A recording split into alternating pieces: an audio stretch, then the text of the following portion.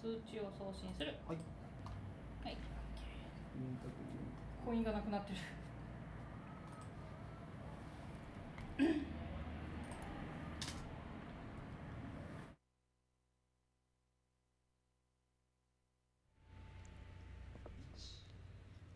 ユンタク二平デビル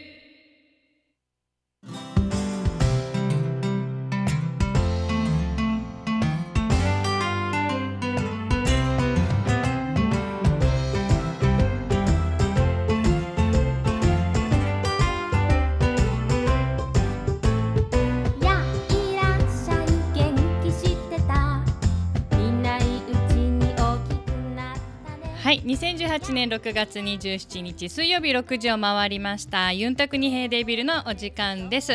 今日も生放送でお届けいたします。パーソナリティはヨギナオとミキサーのキャンです。はい、今日もよろしくお願いしおます。願いいたします。はい、6月27日ということであっという間ですね。もうまた例のごとく月末です。はいもうあっという間にね1ヶ月が過ぎもうこれが終わると折り返しですね。そうですね。1年ね。はい。すごい。あっという間。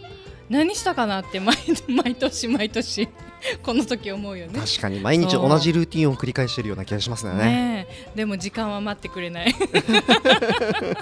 でも確実に進んでるよね私たち。そうですね。私たちって。まあでも進んでるはずなんですけど、うん。自分1週間ぐらい前にビール買うときに身分証って言われまし なんでそこだけ止まってんだたろう。ななんで止まってるんですかね。飽きる。めっちゃめっちゃあれじゃん。すごい昔で止まってるの。まあ新人さんだったみたいで あの真面目に聞いちゃったんでしょうね。あすごいね。でもき新人とはいえさ、はい。きよく聞いたよね。身分証見てはっはーって震えてましたね。なななぜこのタイミングで身分証みた？いな逆にこの子のルーティンだったのかかもしれな、もしれないいね、ですね。もう本当に皆さんあのこの半年ねどうでしたかってことで振り返りながらね後半の1年もああれやっとけばよかったこれやっとけばよかったってないようにちょっとこの辺でねあの今年前半の振り返りをしながら今年後半もうちょっとできること頑張ってみたいことやってみながら、えーこの6月あと数日過ごしてもらえればと思います。はい。はい。ね、6月また今すごいことにそう私よくわからないけどサッカーが盛り上がっててね。いやー楽しいですよ。ね。えそうよくわからないけど盛り上がってる私もいるのででそれがまたね明日。はい。明日？明日ですよ。明日か。今日の夜中じゃなくて明日になる。明日の夜12時にキックオフらしいですね。そうなんだ。じゃあ実質あさってて的な？あさって的で、まあまあ、ややこしいね。そうですまあちょっとややこしいね。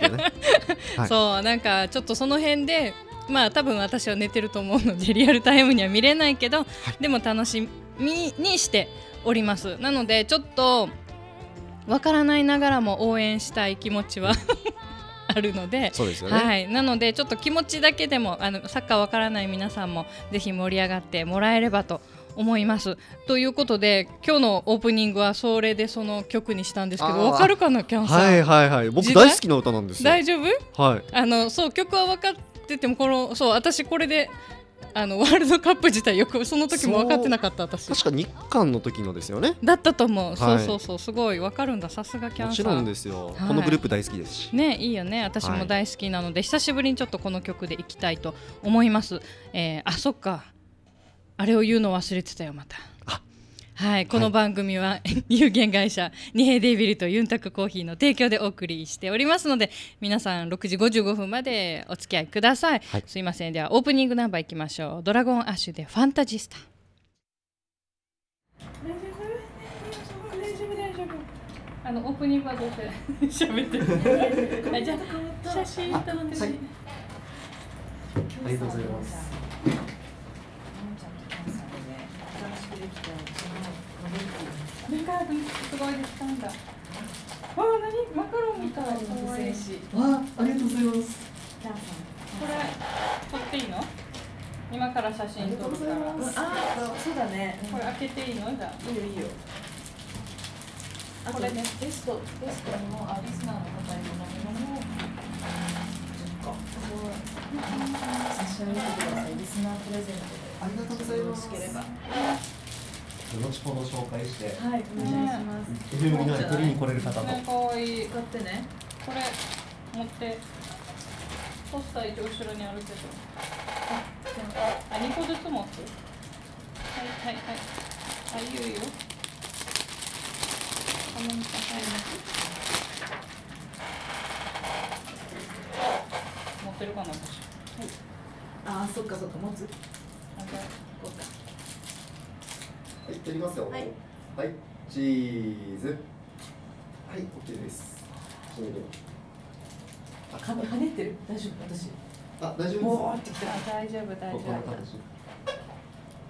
あ大丈夫。よかった。逆にライトがこっち来てるからいいかも。ありがとうございいい。ごめんなんて言ってた。っけなんだ。不戦士。マカロンの不戦士。中に入ってる不戦士なの？開いて使って結構めっちゃクッションクッションいい感じ。あ触り心地いいでしょ。なんかこのビニールの上からだけど気持ちいい。うわいい。とおこういうことね。そうそうそうそうそうそう。えこれなんかなくなったらどうしよう。なんか何か挟んでこのこの質感を。楽しんで。かわいい。何これ。めっちゃやばいキャンさんこれはいいです使っね。てくださいあのリスナーの皆さんにぜひプレゼントしていたえだいて。なんだどうやってどういうプレゼントにしようか？取りに来る方ね。ありがとうございます本当にこれはちょっと緊張して。るえー、一人だから？どんな話になるのかなと思ってホテル以外で話してああれ持ってこうかな。今大丈夫よね？はいまだ大丈夫ですあと1分ぐらいかかるんで曲聴いといてはい。はい。え、キャンさんいつそのスタイルになったんですか？あすごいいい。スタイルはこうなんですけどあの髪が伸びてきてもうちょっとまとまりがないので そのままえ、え色もしももうちょっと金だったですよね。えっと金っていうよりは一応白でずっとやってるんですけどやっとこの馴染んできたっていうか、ね、今とってもいい。ありがとうごございますへあのシャンプーも紫色のシャンプー使ってなるべく金のが落ちてくるようにーケアしてるんですよあすごい気使ってらっしゃるんだ。あ、ばあちゃんの。そうそうそうもの。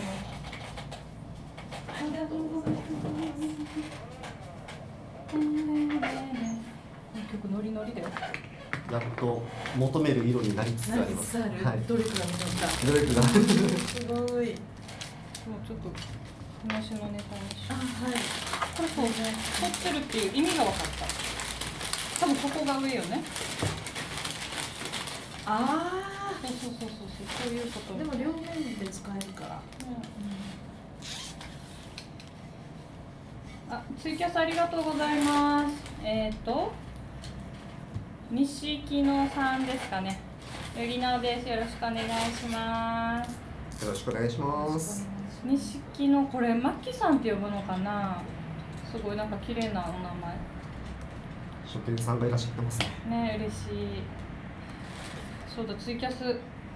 ツイキャスまだ出勤してない人早く来てね。で私もコインを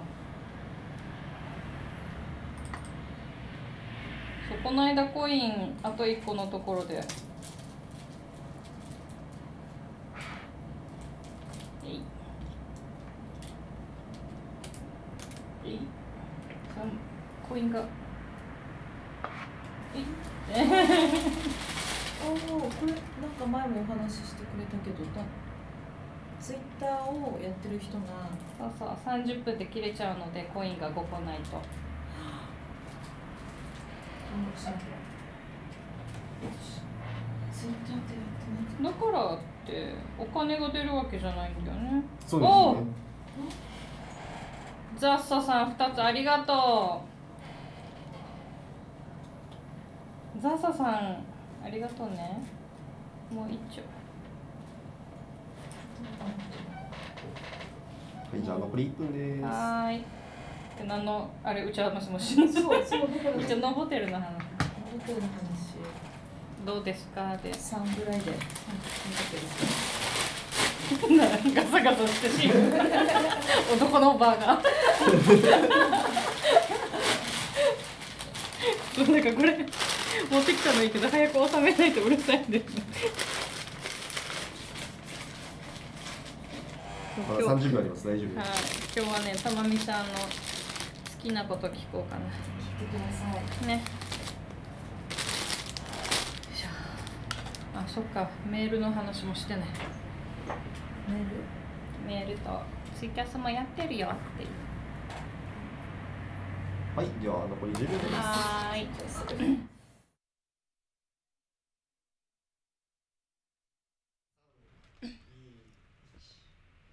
はい、2018年6月27日水曜日6時10分を回りましたユンタク二平デービル生放送でお届けしております。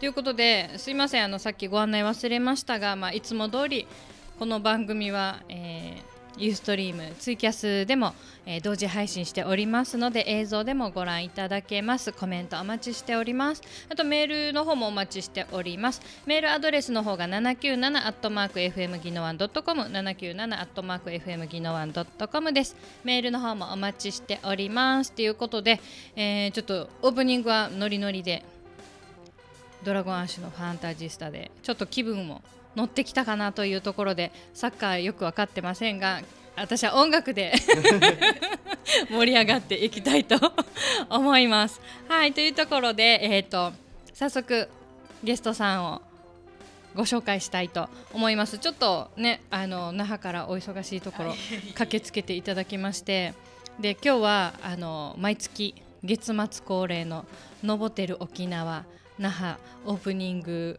応援企画ということで、はい、のぼてる沖縄那覇から、えー PR の福原珠美さんです。今日もよろしくお願いします。よろしくお願いしそっかますマイクを マイクを近づけてセッティングを忘れてたユンタクをしていたらごめんなさいねその距離で 大丈夫？はい。あとは拾いましょうね。はい、おすいません願いします。お願いします。はい、そうそう、今日ね、もう大渋滞で、もうこの時間。すみませんでした。ね、忙しいところ、ギリギリで。えー逆に安全運転で、はい。もう今日、なんかライカムのところでも事故があったみたいで、うん。大渋滞だったっていうことなので。そうそう、あの、遅れても、この番組は大丈夫なので、ありがとうございますその辺はね、キャンさんとね、はい私、あの、一人じゃないので。うんあの、放送事故にはならないと思う。ありがとうございます そっか、でも放送事故でさ、ちょっと思い出したけど、先月だね、あれね。先月？うん、なんかあの音が？そうそう音がうまくならなかったのって。ちょうどそうだね。そうそう。だたまみちゃんがいる時だったね。いやーもう失礼失礼いたしましたもう本当に。何そっあるとかこう考えると一ヶ月早いね。早い早い。そう、んもう。本当に早いです。あっという間でしかも今ねオープンのもう準備っていうことで、い、つも以上にこの忙しさが加速をしている、してきましたね。なんか今後どうなるんだろうっていうぐらい。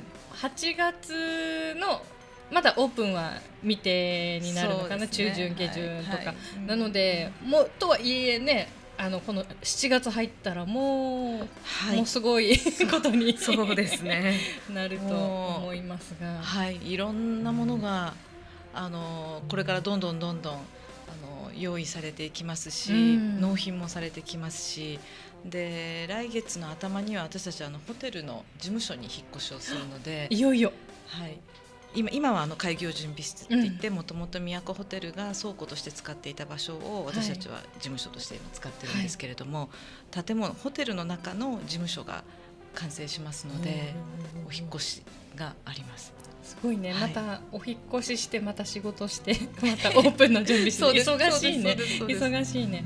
やっぱりオープンのこういう時期ってまあね、なかなか携われないっていう話を前回もやったけど、やっぱ関われないから未知のそう世界次なんだろう次どうなるんだろうみたいなね。ことがあったりとか、うん。あと突然断水とか、はあ。突然春電とか。ああ工事してるそばだから。そうですそうですそうです。ああそっか。もうその辺は容赦ないのね。ないですね。わーってもうみんな保存保存とか言いながら。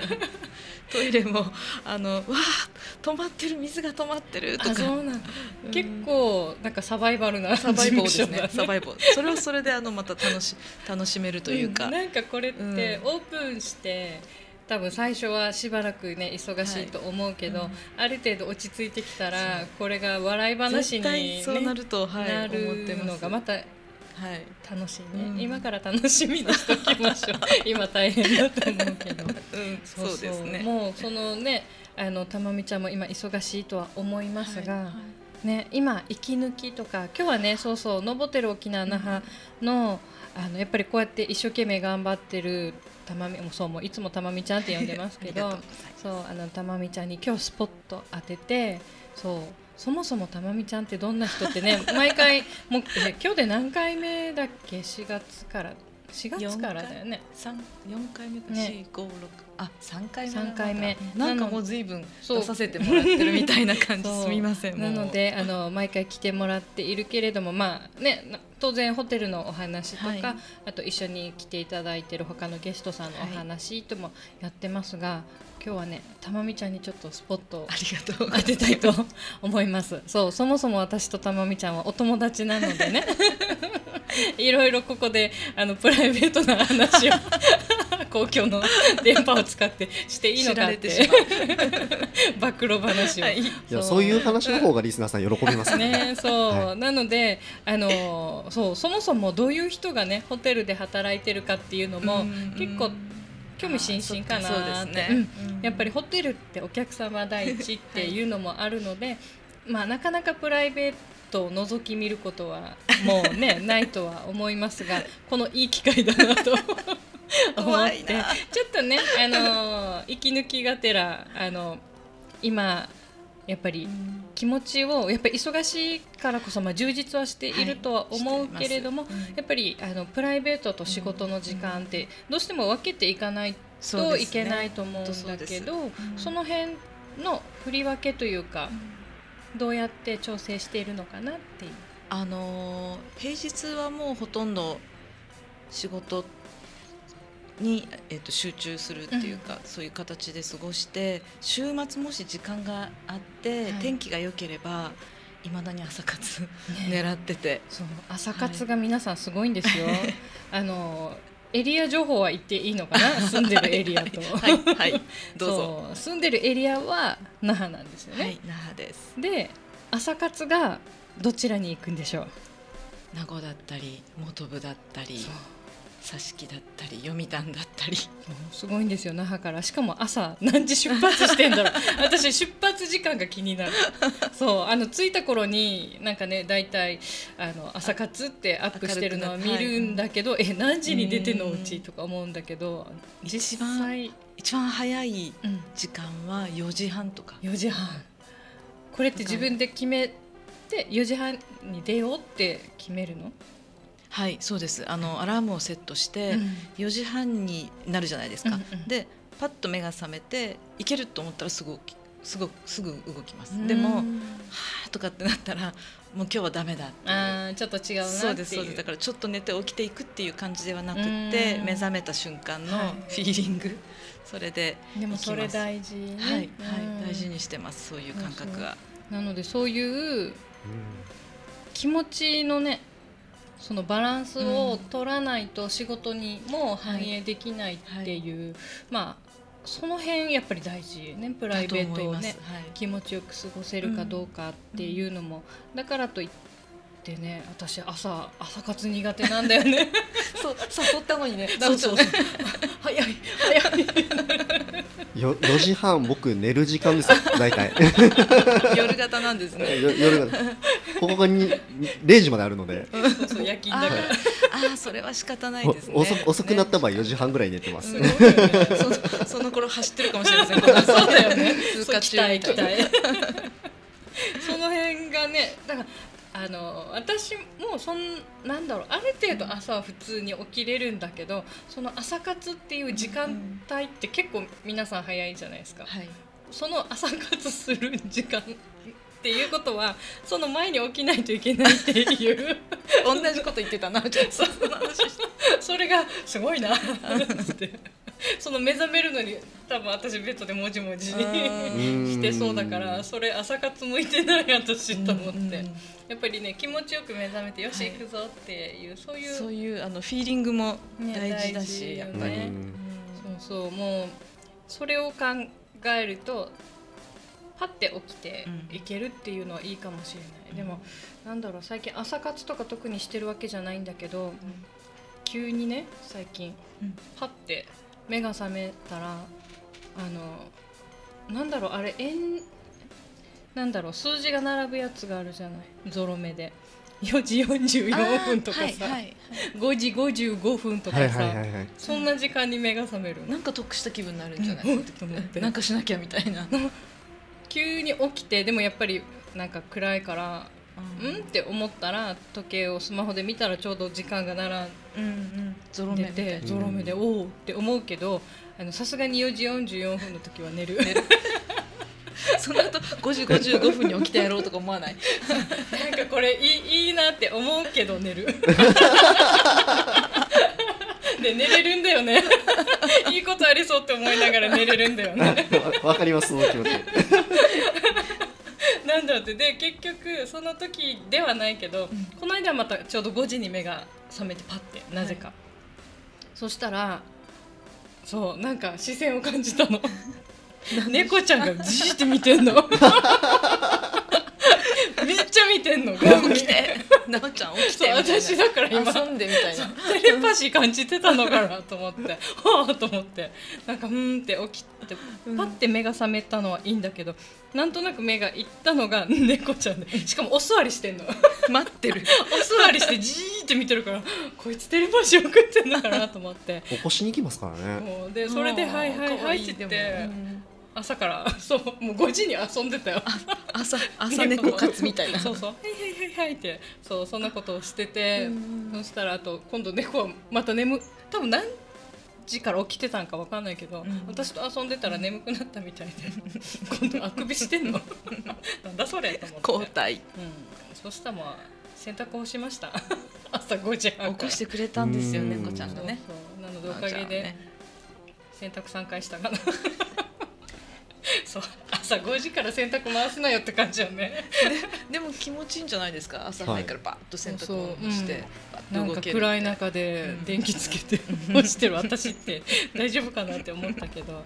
そうまあそんな感じの私のは朝活とは言えない。朝活してます、はい、皆さんの朝活なんでしょうか？ね教えてください。あなちゅみんさんありがとうございます。お久しぶりですねなみさんこんばんは。久しぶりです。本当お久しぶりです。今夜ありがとうございます。ありがとうございます。キャンさんヤッホーっていうことで。ヤッホー。ありがとうございます。そう、なちゅみんさんの朝活は何をしていらっしゃいますかということで、よかったら教えてください。そう、朝活の流れになるんですけど、はい。そっか。そう、私とね、まあ、うん。まだ一回しか行ってないけど。やんばるにね、元部でね、あのやちむんを、たまみちゃんに紹介してもらった。やちむんを焼きに行って、うん。今日あのーちょっとねまあ本人は失敗作だとは言っていたけどお皿を。なんかねまあ言われれば確かに若干反ってるっていうのはあるんだけどやちむんでやるにはまっすぐがね難しいらしくってでも素人目には全然使えるじゃんっていうことで、うん。そうなんかもうね捨てるというか割るというか多分これは職人さん的に納得ができないと使ね。いたくないのはまあね気持ちはわかるけど、捨てるのは惜しいということであの私とたまみちゃんはじゃあちょうだい。ってことではいそれをはいいただきました、うん。今手元にあります。はい。うん。ありがとうございます。そう本当に綺麗に丸くなって、ね。そうこれもあの泣き地にある未熟者っていうカフェで味が熟するもので未熟者の、うん。そこのね専用のお皿として今ちょっと今回はうまくいかなかったってことでいただきました、い。なのでオリジナルでねこうやってやっているのでぜひやんばるの、えー、ばんちゃんの工房ね。工房皆さんよろしくお願いします。よろしくお願いします、はい、番頭房検索してください。キャラクターもナイスですよそうね面白いと思います。いろいろとつながるとうん。いいことがうん。あるかもよ。あると思います。そう私もあの今料理教室行ってるところのあの料理研究家のあの荒崎あこさんって言って、なんかやちむんとかそういうお皿とかなんか知ってる人いない？ってあ。言われてそれで紹介あそうなんだ。してあうんのお料理を載せる撮影用の、はいなので、それでばんちゃんさんのうん。やちむんがお料理に添えられてこれでね写真写ると思うのでまたそれも紹介できればと思います。いつかねそうばんちゃんさん言ってたの。たまみちゃんと出ようかなラジオああ いいねいいねいいね。一緒に出る。そうそう面白いかも面白い。あのばんちゃんさんのあの急にあの降ってきたような話がうんうん。全く別の話してくるよね。そうそうそうでもすごい面白いんだよね。そうそう今この話してたのに急に急にボーンボンって。そういえばっていうあれもなくボってくるからえっと今何の話してたっけっていう。自分みたいな方ですね。えキャンさんもそうですか？僕もそういうタイプですよ結構。うん聞き上手な感じがする。激しいと思うよ、多分ばあちゃんさんとキャンさんがあの二人でやるとちょっと面白いかも逆に。なんか自分も興味私興味湧いてきま見守ってていい。一緒にね。飲みながら見てよ。面白いと思います。あ大塚健二さんもコインありがとうございますこんにちはあコインですね すいませんありがとうございますありがとうございますはい、リスナープレゼントありますか？あるよ、すごい。分かってたの？分かってたのって、オフトークちゃんと聞いてたのね、すごい。そう、後ほど紹介します。なので、最後まで聞いてね。いつから私こんな上手なったの？う放送女子会ですね。あそうそうそう。キャンさんも入って女子会してるよ。そう、キャンさんも女子的なともんだよね。女子トークにね、まあね。ついてこれるもんね。うんうんうんそう。っていうか逆にあのなんだろう。美容のねお話しした時とか私より化粧水とか綺麗にやってるからそう女子力高いの。すごい。やいやいやいやもうもうそれぐらいはちょっとやっとこうかなっていうそれぐらいっです。それぐらいって。叱られそうだ。男子 男子にこれぐらい って。私ペペペって言う。ペペペじゃないでしょって。ね。言われちゃいました これが5年後10年後のお肌の基礎になるのそうそうそうそうこれから。と思って。そうそういうふうにも言われたりしているのでちょっと女子を、女子力を。高めたりはい。でも私最近頑張ってお料理もやるようにしてます、そううん。ねえなもともと料理は苦手なんですけど、んやってます。そう料理はねたまみちゃんもそっかストレス発散的なのがあるって。そうそうそうそうでした逆に羨ましい。集中するしどういう段取りで何をどうやって作って、うん。で出来上がったものを何に盛り付けてどんな風に置こうかとかそれすごく楽しいんですよ考えると。創作意欲が湧くっ湧きます湧てきます完成したらた、うん。もうお腹いっぱいみたいな。すごいね。これでなんか。だからなんかお仕事終わってね今忙しいから夜ね遅いのにそれでもなんか作って。作る時もあります、ねやったりとか最近毎日はしない全然、でもすごいなってもう。もう夜遅かったら作ろうなんて思わないもん。うん。なんなんだろう。そそれで疲れが取れるっていうか疲れを忘れるっていうか、そういう時はあります、ねそういうのそういうのは女子力高いと思う。そうなのかな、うん、思うよ。ありがとう。えだってもう私買い食いできれば買い食いしようとする。そうできれば外に飲みに行くっていうのもいいけどななんかなんかその10分でも20分でも集中する時間があると、自分が好きなことにですね、うんあるとちょっとほっとします。いいね。なんかそういう風にできたらなって私も思います。私は創作意欲というより普段から妄想が激しいので。妄想も好きです。そう、はい。なので料理も妄想なの。終わってる終わってるんだもん頭の中で。とかこれとこれをこうやったら美味しいだろうなっていうので、なんかだから結構オリジナリティといううん。か、で逆にあの基本を知ってる人からすると斬新らしくってで実際やると美味しかったりするから、ね、でもそういう発想でもいいですよね。だから基本妄想が気持ちも。いやいやでも大事だと思います。そんな感じで私は、あの女子力というより妄想力が 高まっておりますがそうあのせめてです。あのい今日も浴衣着てるんですけどね、あの浴衣とか着物を着るとやっぱりあの女らしいとか女性らしいっていうか、それは男性からも女性からも褒められて嬉しいので、そこはおほほほほとそうです。いうそう今続けてがください。そう今ガハハハハって笑ってるけど 本当はおほほほほなんで。ね今日のでもお着物とっても浴衣もとってもあノボテルのカラーがいっぱい。あそっかそっか。白今日あれなのあのおろしたてなんです実は。そう。そうそうありがとうございます。おろしたての。おろしたてです。あの着物花沖縄さんの、うんはい、同じ宜野湾市内にあるそうアンティークショップなんですけど、アンティークの着物とか浴衣私は大きいのでねなかなか アンティークのが合わないんですよ、なのでそうそうそうアンティークってやっぱりあのヴィンテージとかだと昔の方ってやっぱり小柄な方が多いのでそそうまあ着丈見丈とかそういうのもあるけれども最近ちょっと私幅がやばくなって。頑張ろうって。やばいと思って。着物浴衣もね関係ないって言うけどそれもちょっと限界あるからね。そう。ちょっとそこを気をつけようと改めて思った。今日この頃です。いい加減にしろよって旦那には言われてますけど。でもたまみちゃん戻したよねと思うけど。なんかやっぱり見えないところがっていう感じ。すごいスタイルいいいえい私が並ぶともっとちっちゃく見える。そうだから私のそばにいたら大丈夫。どんなどんな話しようって感じね、そうそう。なので私はまあもともとねちょっと身長も160はあるので、まあ若干沖縄の人だと平均よりちょっと大きいのかな、うんなのでやっぱり私の周りには同じぐらいの人が少なかったりするので、やっぱり皆さんそばにいるとねそうみんな可愛いなって思うの私。そうなんか男性の気持ちが分かる。守りたいって。そうそう。あ高いの取ってあげるみたいな。そう。逆に私は高いの誰か取ってみたいな。届くけど。そうそんな感じなんですあナチュミンさんありがとうございます。朝活。私の朝活っていうか朝のルーティンですがまず空を見る。いいね。うん。プランターのレタスに、えー水。金魚にブレックファースト。洗顔。チビを起こし一緒に歯磨き。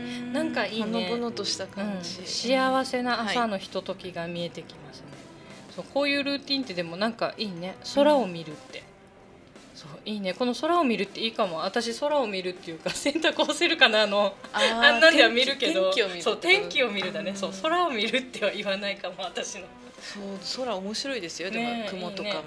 そうだからたまにねあの朝日をこうやってアップしてる人のフェイスブックとか見ると、なんかやっぱパワーもらえるっていう意味が、このねあの携帯越しだけど、うんうんうん。でもそれでもすごいからやっぱり実際そこ行ってはい。やるとパワーもらえる全んだ然違う、ろうな、うんうん。ね、でもねそれでやんばるまでなからっていう。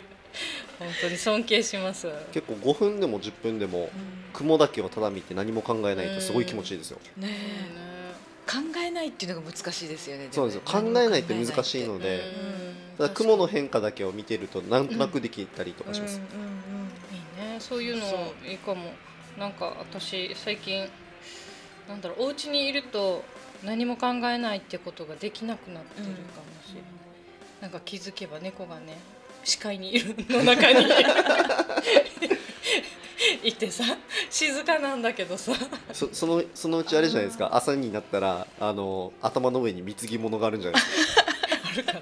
あってほしいけどもうさ暑いから猫もバテバテで仰向けになってんの。ゴローンってなんてだらしない格好してって思うけど人に言えないな私も。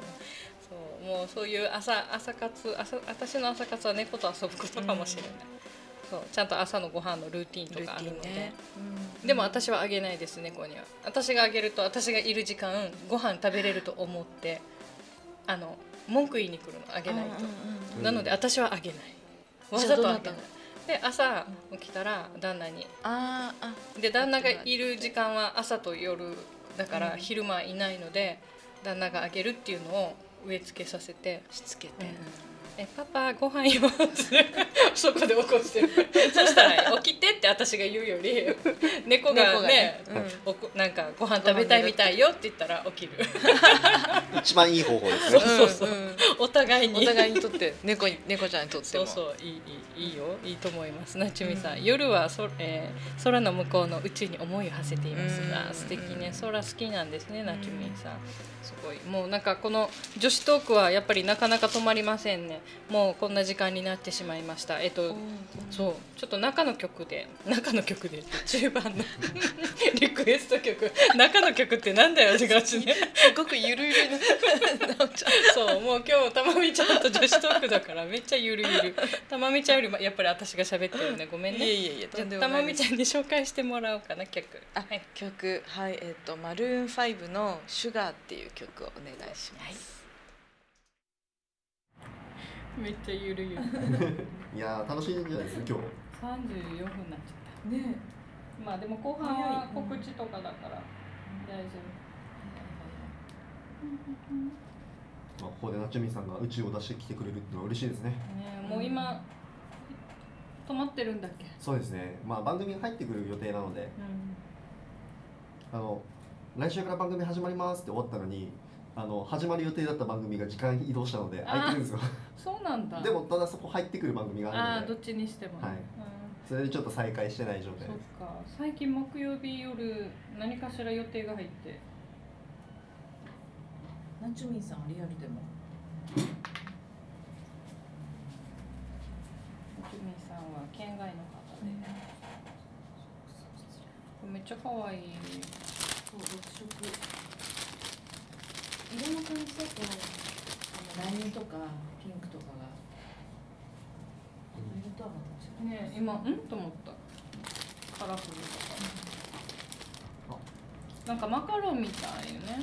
そう色マカロン付箋紙ね。すごい可愛いですね。ありがとうございます。肌触りもいいんです、これなんかなんだろうパソコンやっててなんかあ。触れるね。あこれいいですね。落ち着きますね。ね しかもさここのリアルで触るとさまたいいこの質感がこのあ肌触り。ビニールっていうかね。そうこのビニールの上からでも気持ちいいけどもっと気持ちいい。ちょっとじゃあ失礼します。これはねちみんさんキャンさんの番組復活するの待ってます。ありがとうございます、ねじゃあ今のうちネタいっぱい探しておきます。え。宇宙の話あ本当だ。すごい気持ちいい。ね気持ちいいよね。あこれいいですね。ねありがとうございますでもなんか赤いのはカスタネットにも似てる。私じゃあ黄色も私赤赤の人だった。青か赤と青だから。赤がなんかなんかできそうですね確かに。にね。あとはね一つ休み。タンタンそ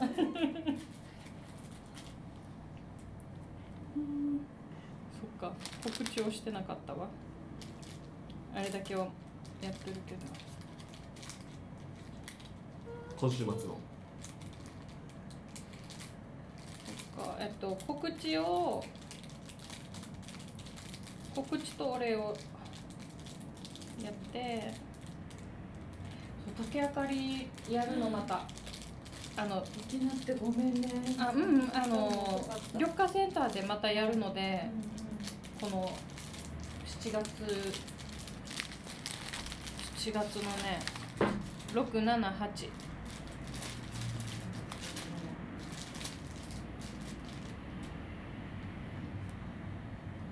規模は小さいけど。すごい良かったよ竹あかり。あのマナミンが行ったらしくて。見たあのありがとう知らなくて行ったらしいんですよ。あーなんかやってるで結構集まってたよ、知ってて来てる人となんかやってるって言ってゾロゾロ来る人もいたし。自分めちゃめちゃ行きたかったです。あれはなかなか見れないですもんね。キャンさんお住まいどちらなの？自分沖縄市です。あ沖縄市から那覇まで。夜ちょっときついですね。いやいや全然大丈夫なんですけど、うん。こっちが出勤があったっていうだけで。で土曜日も土曜日で自分あの夜夜にこたまたまプロレスの興行があったんでそっちも抜けられなかった。すすごい。本当に良かったあれ。沖縄で初めて竹灯籠やって。うーんあれ本当に見に行きたかったです絶対癒されます。結構感動した。ちょっとイベントのご案内とお礼とさせていただきます あとプレゼントね。うんお願いします。とりあえず今週末まで終わったら少し余裕が。出てくる？この大阪大阪山口が終わればちょっと余裕が出てきそうなんで今週までは頑張ります。県外に行くの？そうなんです。おーすごい。遠征だ遠征30日朝9時から飛行機あーえっと那覇空港集合で前日普通にここで出勤してるので多分寝ないで行くかもしれない。飛行機で寝ます。相変わらず。相変わらずハードだな。で当日は当日でまた終わったら山口にそのまま行くらしいんで車で。車？うわはいー。慣れない場所で車の運転大変。あ去年やりましたんで。うわー。高速道路。6時間ぐらいしかも台風の中の運転だったんで、もうあれで何も怖いものなくなりました、台風すごい。知らないところで台風で運転なんて。台風突っ切る感じのコースだったんで。じゃああと10秒ですね。はーい。今さら今さらアップしました。5秒前はい、6月27日水曜日6時40分を回りましてあっという間の後半戦です。ということでということでってめっちゃゆるゆる今日は 女子トークたまみちゃんとさせていただいてちょっとあのメイントーク長くなりましたが皆さん 楽しんでいただけましたでしょうかってね。女子トーク。あのすごい公共の場を使って女子トークさせていただいております。あミッキーさんありがとうございます。お久しぶりです。東京からミッキーです。ってことで。ミッキーさん東京も暑くないですか？ね、東京梅雨入りですかね。もう沖縄やっと梅雨明けしましたね。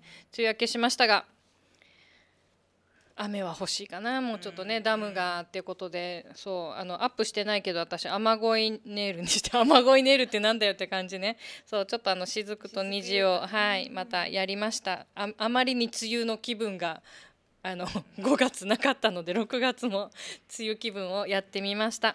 はい。で梅雨が明けたのでちょっと、えー今週末のイベントの、えーご案内をしたいと思います。あのしつこくてすいません。私のイベントです。浴衣でビアガーデン in 宜野湾 B サイドということで6月30日土曜日7時から10時受付6時半からやっております。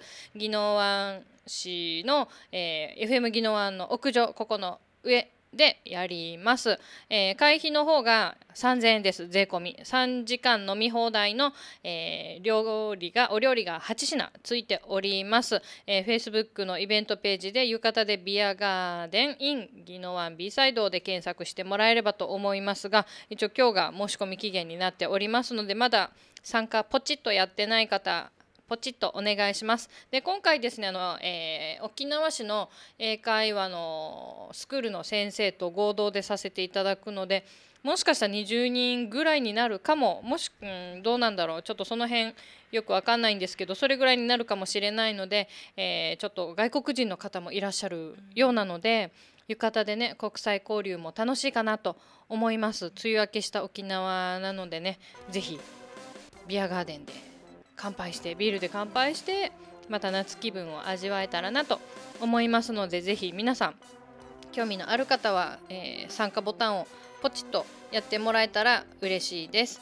ということであとですねもう一つあのお礼と再度告知が新しい告知があるんですが、えー先週土曜日ですね6月23日、えー土曜日、えー那覇新都心公園の水の道公園で、えー新都心那覇、えー那覇新都心竹あかりに、え2018を開催させていただきましてでもうこれが大好評で竹灯籠がですねもうあの熊本のね震災の復興のあのちょっとそのお手伝いも兼ねて熊本から竹を持ってきてその竹で灯籠を作ってっていうあの今回株式会社地下研さんの、えー技術をあの伝授させていただいてそれで那覇市緑化センターのシルバー人材の方、まあ、いぶし銀と言ってますけど いぶし銀のあの素敵なあのおじさまたちが頑張って竹灯籠を本当にたくさん作りまして、えー持ってきたのが確か300から400本の竹で、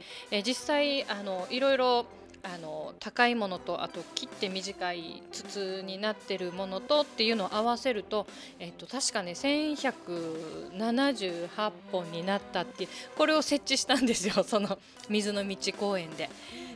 そう。すごいたまたまいい那覇なってびっくりって言って那覇の日でねすごいことになっていてで今回あの那覇市の市長とかあのその他ですね来賓の方々も、えーいらしていただいてもうすごい大盛況で。で実はその前日22日の金曜日にはあのリハーサルということで実際にあの火を灯したんですけど風が強くってつけても消えてつけては消えてででそしたらあのその後ろのね火を灯すところからあの火を入れたら今度はもう透明のねあのテープで風がで消えないようにとかそういうのもやったりしてたのでやっぱり実証実験やってみないとわからないなって思ったんですがでもすごい大変だったんですけどそれがあったから本番なんとかできたっていうのがあってその大変なのをやっぱり通りがかってる人は見るんですよねそしたらあのお手伝いしましょうかって言ってくれて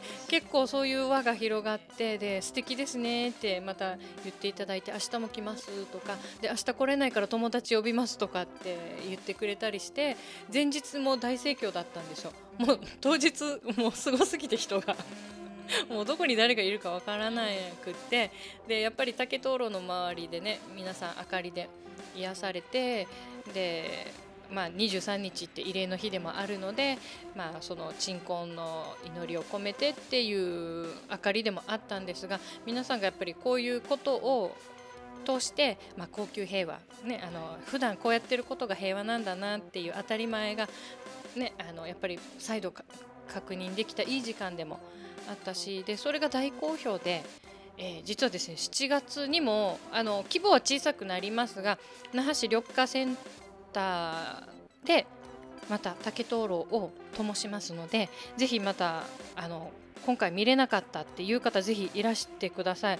日程がですね7月6日金曜日7日土曜日8日日曜日この3日間の予定になります。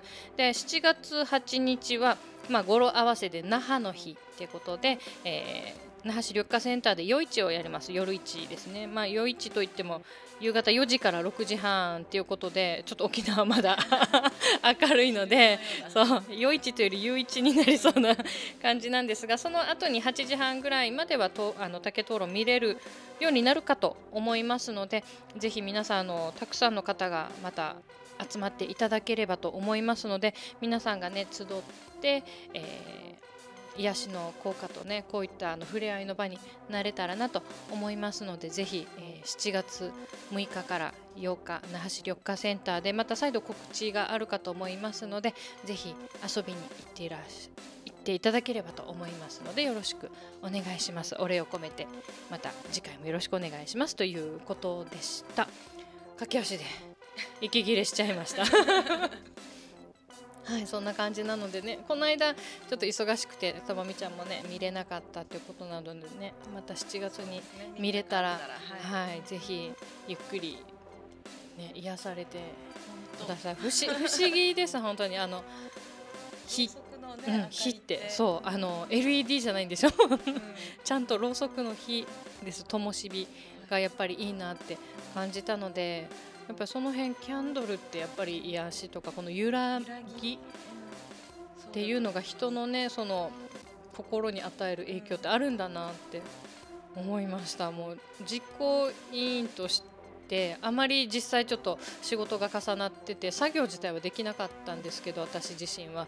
なのでちょっと告知を頑張ったりとかはさせていただいたんですが本当にいぶし銀の本当にナイスミドルのおじさまたちが 頑張っておりました。あと地域の方々もね、うん、あの竹灯籠に入れるのにあのガラスコップが必要だったのでそれをまた集めたりとかっていうので使ってないコップとか、うんそうそう。あの一番ねちょうど良かった瓶がねワンカップの。そう なのでもうそういうのをねまた集めてでまた来年もやってくださいっていう声もあったので来年も開催できるように頑張りたいと思います。はい、ぜひぜひ本当に来てく来てください。ってことで私の告知はもうこれぐらいで あのさっきから気になってちょこちょこ触ってるんですがこれは見えるかな？見えるかな？ツイキャスユーストの方私が今持ってる丸いものあのお腹が空いてマカロン出してるわけじゃないんですよ 私。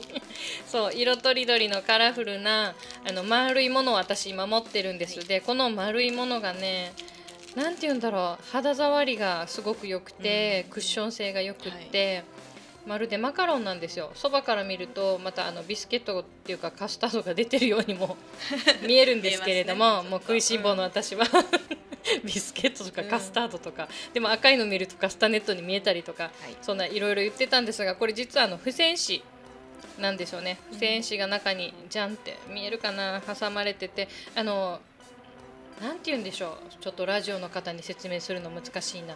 あ女性のコンパクト。うんああはい、あのコンパクトを開けるって感じで、中にファンデーションありますよね。でそのファンデーションの土台の部分が付箋紙になってます。こんな可愛い付箋紙使いたくないな。使ってください。そう使わないといけないんだけど、はい、それをしかもこれ皆さんロゴが見えないのがちょっと残念なんですが、はい。これは何でしょう、うちのあのノボテル沖縄那覇のオリジナルはい付箋紙です。そうグッズができちゃいました、はい。すごいあの最初はねあのなんだっけ？えっとクリアフォル。ダくそうクリアファイル。こちら。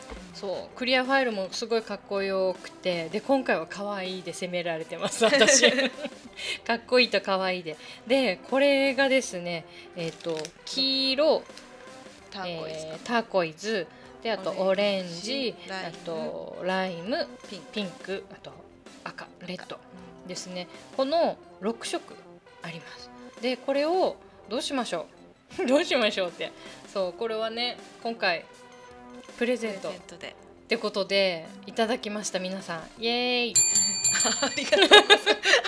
このチンチンチンしかないけどお客様みたいな。そうお客様は違うよ。イエーイな感じです。なちみさんそうそうおしゃれでそうおしゃれでしょ？これをですねあのお一人一個にしようかな。たくさんの人にあの使っていただきたいので,、うんそうすね。ありがとうございます。はい。あの早い者勝ちでカラー指定してあと先着でなくなると思いますので、ぜひ先着6名様です。あの1個ずつ。これ普通で買えないですよねもうあね、はいあのオリジナルなのでうん、買えないです。そう買えないですよこれ。買えないのでぜひあの FM 宜野湾に取りに来れる方、もしくはこれどうどうすどうしたらいいの？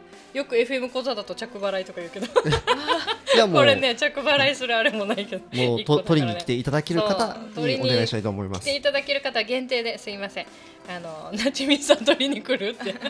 どっからみたいな大変なことになるね。